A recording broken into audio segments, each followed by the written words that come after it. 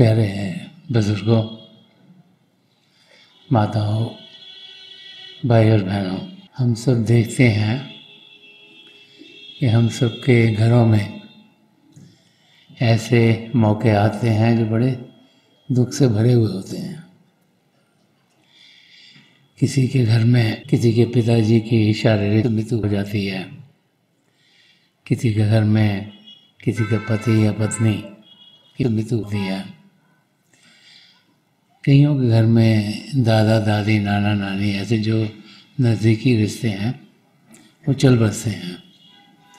और कभी कभी तो ऐसे भी होता है कि माँ बाप की ज़िंदगी में उनके बच्चे इस धरती को छोड़ जाते हैं। तो वो समय जो कि दुख दर्द से भरा हुआ है, वो समय जिसमें कि इंसान को समझ में नहीं आता कि हमारी ज़िंदगी आगे बढ़ेगी कैसी। क्योंकि जितनी जितनी नज़दीकी हमारी उनसे होती है, जिनकी शारीरिक रूप से मृत्यु होती है, उतना उतना दुख दर्द हम सबके अंदर बढ़ जाता है। ज़्यादातर हम सबको यही ख्याल आते हैं कि हो, हमें उनके साथ ज़्यादा समय व्यतीत करना था। कि हमारे करके तो नहीं कुछ हो गया। शायद हम ये करते तो वो हो जाता। शायद हम अगर सही तरीके से कुछ और करते तो वो अभी हमारे अंग संग होते। तो जब ऐसे ख्याल आते हैं तो इंसान के अंदर दुख दर्द बढ़ जाता है। हर एक घर में हम देखते हैं कि शारीरिक रूप से मौत ज़रूर आती है। एक बड़ा पुराना वाक्य है महात्मा बुद्ध की ज़िंदगी का। एक महिला उनके पास आई। उसके बच्चे की मौत हो गई थी। उसने बहुत महात्मा बुद्ध के बारे में सुना हुआ था और उसने महात्मा बुद्ध से प्रार्थना की कि आप मेरे बच्चे को जीवित कर दीजिए। तो महात्मा बुद्ध ने बड़े प्यार से समझाया है कि जिसकी शारीरिक मृत्यु हो गई, वो वापस नहीं आ सकता। लेकिन माँ थी, बहुत उसको लगाव था अपने बच्चे के साथ। बहुत रो रही थी।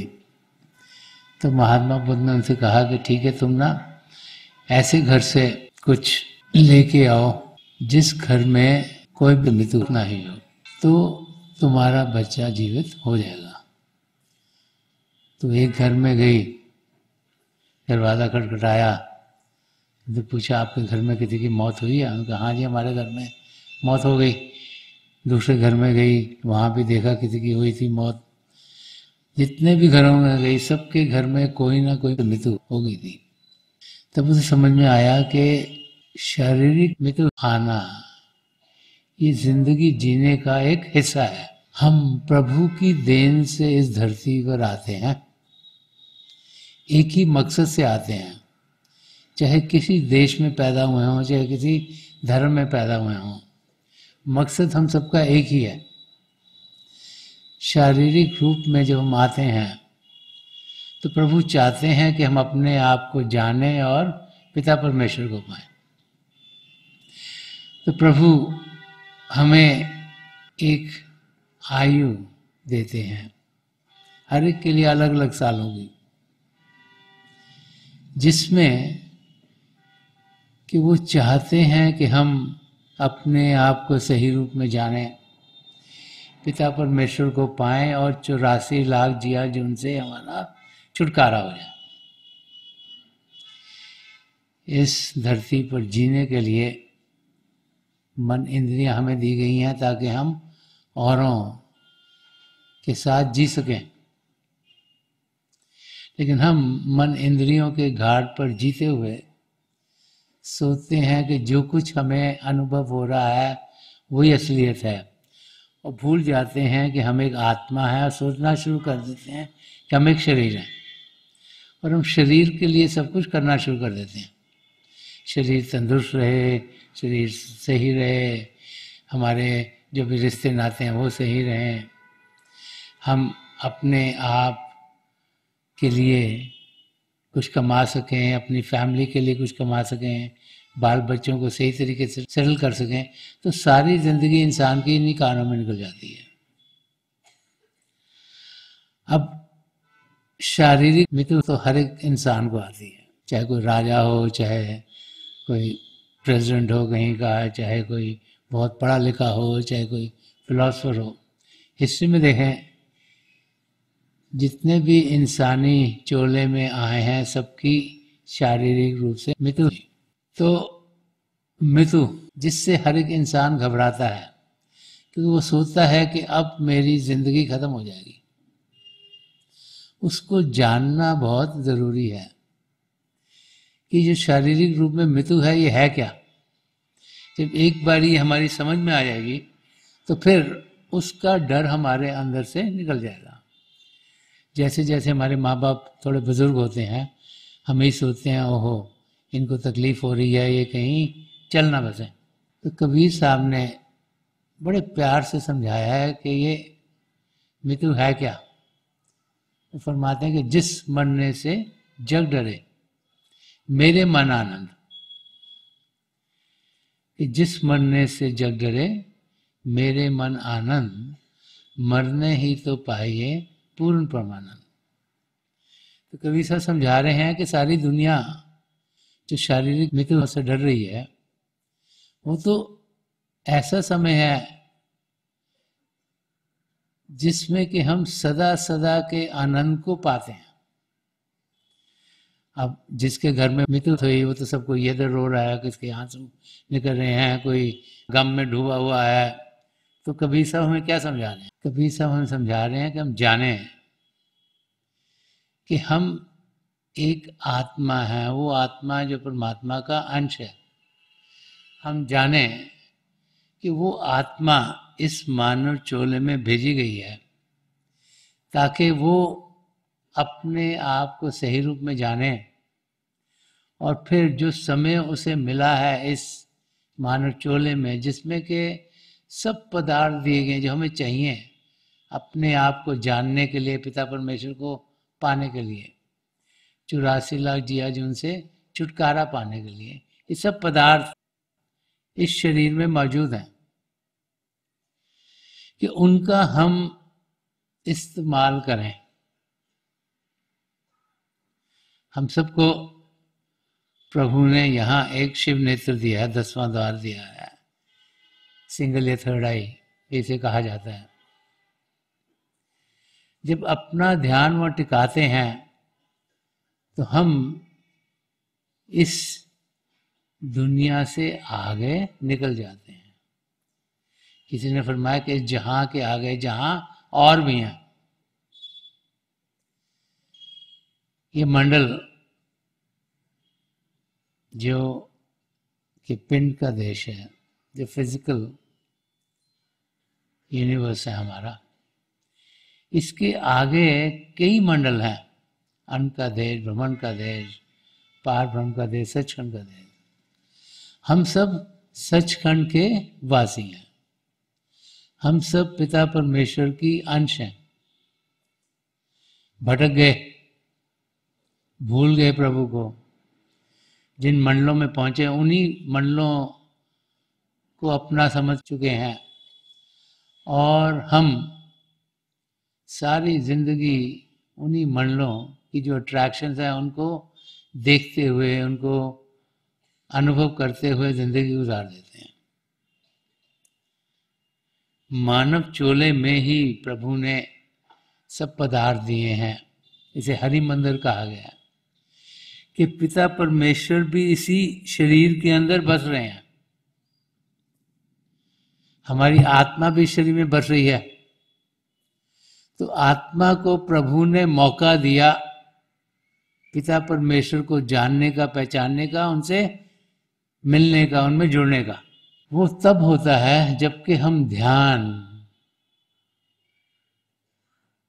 जो कि हमारी आत्मा का भारी रूप है, उसे बाहर की दुनिया से अंदर की ओर करते हैं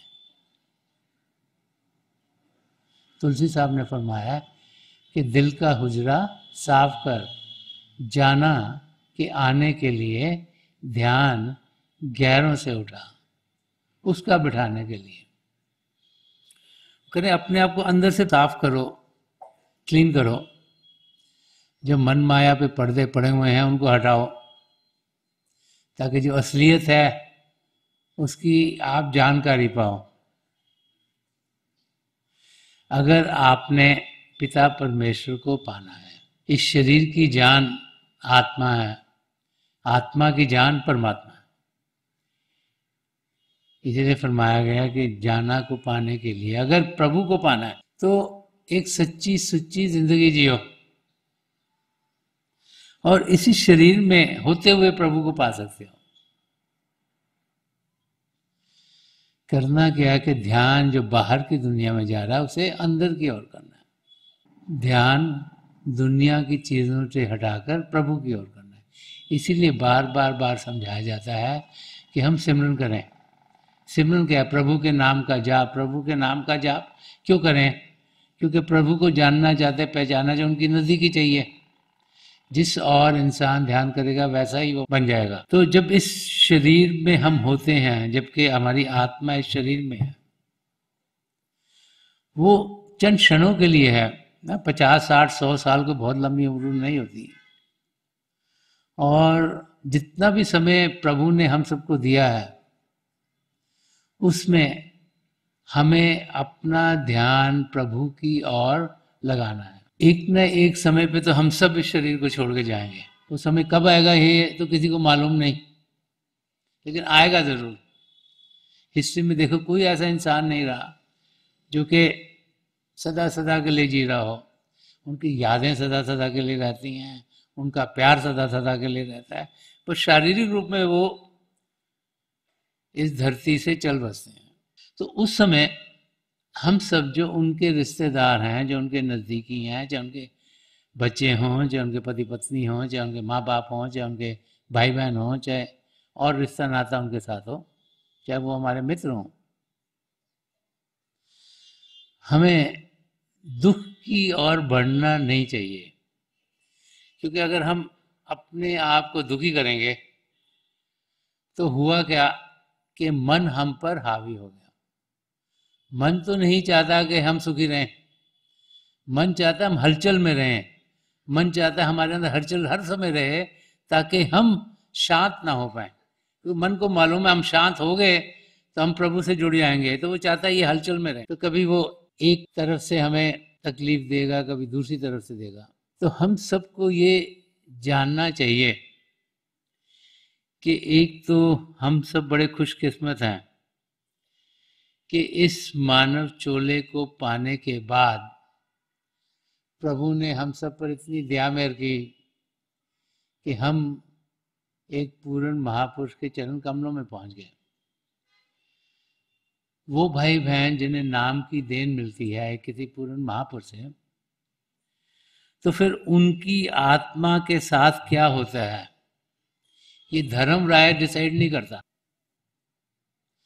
उसके कर्मों का हिसाब किताब धर्म राय के हाथ में नहीं रहता, उसकी ज़िंदगी की डोर उसके सदगुरु के हाथ में रहती है। और संत कृपाल सिंह जी महाराज तो यहाँ तक फरमा गए हैं कि वो भाई बहन जिन्हें नाम की देन मिल गई है, और वो कुछ भी नहीं करते, ना अभ्यास करते हैं, ना कुछ करते हैं, ना कुछ करते हैं। फिर भी वो शरीर से नीचे नहीं गिरेंगे, वो चौरासी लाख जिया जून में नहीं जाएँगे। क्योंकि जिसको नाम की देन नहीं मिली, वो अपने कर्म काट के और अपने कर्मों के लिहाज से जो उसके जितने कर्म रह गए हैं, वो फिर चौरासी लाख जिया जुग में भटकना शुरू हो जाता फिर कितने हज़ारों लाखों साल लगे एक और मानव चोना मिलने के लिए तो वो भाई बहन जिन्हें के एक पूर्ण महापुरुष से नाम की देन मिलती है उन्हें बहुत बड़ी बरकत मिलती है कि वो ज़रूर पिता परमेश्वर से मिलेंगे। ज़्यादा से ज़्यादा चार लाइफ टाइम लग सकती है। परम संत कृपाल सिंह जी महाराज फरमा गए कम से कम इसी ज़िंदगी में हम प्रभु से एक में हो सकते हैं। जैसे कि कभी साहब ने फरमाया कि जिस मरने से जग डरे, मेरे मन आनंद वो कहते हैं कि जो मौत है, शारीरिक मौत है अगर हम ज़िंदगी सही तरीके से जिए, हमने अभ्यास किया, हमने अपनी ज़िंदगी में सदगुणों को ढाला, हमने प्रेम से ज़िंदगी जी, सच्चाई से जी, करुणा से जी, एक दूसरे के मददगार हुए, एक सच्ची, सुच्ची ज़िंदगी जी, अहिंसा का रास्ता अपनाया। तो हम इसी ज़िंदगी के आखिर क्षणों में, जबकि हमारी शारीरिक मृत्यु होगी, हम पिता परमेश्वर से एक में हो सकते हैं। और इसीलिए वो अवस्था जिसमें कि इंसान या हमारी आत्मा, जो इस इंसानी चोले को जान दे रही है, वो अवस्था जिसमें कि हमारी आत्मा इस शरीर को छोड़ती है वही शारीरिक मृत्यु है। जितनी देर आत्मा शरीर में रहती है, ये शरीर जीवित है, देखता भी है, सुनता भी है, बोलता भी है, चलता भी है, कार्य करता है। जैसे वो आत्मा सदा सदा के लिए शरीर को छोड़ देती है, ये बेजान हो जाता है। नहीं उठ सकता है, ना देख सकता है, ना बोल सकता है, ना काम कर सकता है, ना चल सकता है। तो वो आत्मा जब इस शरीर को छोड़ती है तो प्रभु में जाकर लीन होती है, जिसके सारे कर्म कट गए हैं। और प्रभु में लीन होना ही सदा सदा के सुख चैन को पाना है। प्रभु आनंद के महासागर हैं, प्रभु प्रेम के महासागर हैं। प्रभु के अंग होते ही हम खुशियों से भरपूर होते हैं। जिसको पता है वो प्रभु के अंग है, उसको तकलीफ़ क्या है? वो सब देने वाले हैं, सब करने वाले हैं, सारी सृष्टि उनकी रची हुई है। तो जब उनसे हम एक में होते हैं तो फिर कोई दुख नहीं, कोई दर्द नहीं, वही कभी सब सुने वही सदा सदा के आनंद की अवस्था है। तो हम सब जिनकी फैमिलीज़ में, जिनकी नज़दीकी में, जब किसी की शारीरिक रूप से मृत्यु होती है तो हम सब जो के महापुरुषों के चरण कमलों में पहुँचे हुए हैं। हम सब जिन्हें परम संत कृपाल सिंह जी महाराज या दयाल प्रसन्न दर्शन सिंह जी महाराज ने नाम की देन दी है। हमें जानना चाहिए कि जो जीव गया, उसके लिए हमने दुखी नहीं होना। हमने सही मायनों में खुश होना है कि उनकी जो ज़िंदगी मिली थी, उसका मकसद पूरा हो गया। जो महापुरुषों की दया मेहर उन पर हुई, पहले तो प्रभु की दया मेहर हुई कि शरीर मिला फिर महापुरुषों की दया मेहर हुई शरीर में होते हुए उन्होंने शब्द के साथ, नाम के साथ हमें जोड़ दिया। और हमें डायरेक्शन दी कि हमें ज़िंदगी कैसे जीनी है। तो हम सब उनकी जर्नी वो जो उनको ज़िंदगी मिली थी इस मानव चोले में होने की, उसके मकसद को वो पूरा कर गए। उसलिए हमारे अंदर एक खुशी, एक आनंद की लहर उठनी चाहिए। ताकि हम ये जाने कि वो तो ऐसी अवस्था में जहाँ दुख दर्द है ही नहीं, जहाँ खुशियाँ खुशियाँ हैं, जहाँ आनंद ही आनंद है, जहाँ सच्चाई सच्चाई है, जहाँ कोई चीज़ खराब है ही नहीं। सारी चीज़ें अच्छी हैं। और हमें भी ये सोचना चाहिए कि हम भी उस दुनिया में कब जाएँगे? और जा सकते हैं अगर हम महापुरुषों के बताए हुए रास्ते पर सही तरीके से चलेंगे। तो बार बार बार महापुरुष हमें समझाते हैं कि हम नेकी का रास्ता इख्तियार करें, अगर प्रभु से एक में होना नेकी का रास्ता, सच्चाई का रास्ता, एक अच्छा इंसान बनना, एक पहला कदम है। परमारत के रास्ते में, पिता परमेश्वर को पाने के रास्ते में, प्रभु से एक में होना ही ज़िंदगी का मकसद है। तब होगा जब आत्मा इस शरीर से ऊपर उठ पाएगी। जब वो अभ्यास करेगी, जब भजन सिमरन करेगी, जब हम शरीर को शांत कर पाएँगे, मन को शांत कर पाएँगे, तब हम अंदर के मंडलों में प्रवास कर सकते हैं, उड़ान कर सकते हैं। जैसे संत दर्शन सिंह जी महाराज कई बार फरमा गए हैं कि मिलेगा रूह को परवाज दे के देख जरा, करीब है, उसे आवाज़ दे के देख जरा। तो पिता परमेश्वर हमारे भीतर हैं।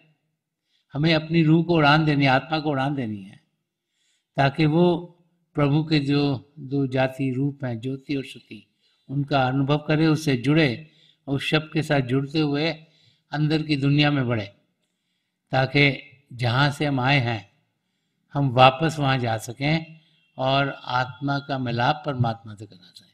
इसीलिए ज़िंदगी के मकसद को पाने के लिए हमें बार बार समझाया जाता है कि हम भजन अभ्यास करें।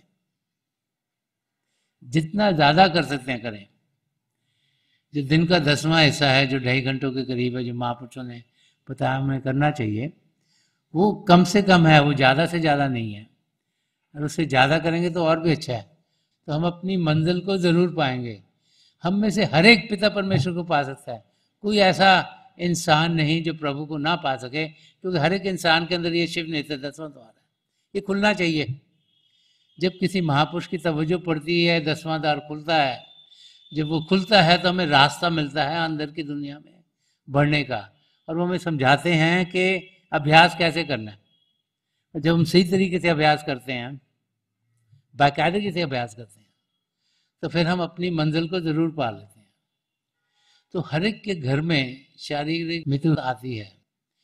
तो उस समय दुख से घिरना वो हमें अपनी मंजिल पर जाने से रोकता है।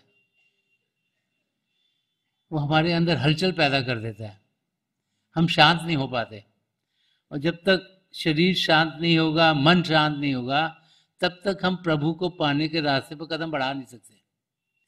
इसीलिए हमें उस और ध्यान नहीं देना चाहिए कि वो हमसे अलग हो गए। अगर उस और ही ध्यान देंगे कि हमारे ये नज़दीकी थे, हमारे पति पत्नी थे, हमारे माँ बाप थे या दादा दादी थे या भाई बहन थे कि हमसे दूर हो गए तो फिर हम दुख दर्द से भरे रहेंगे।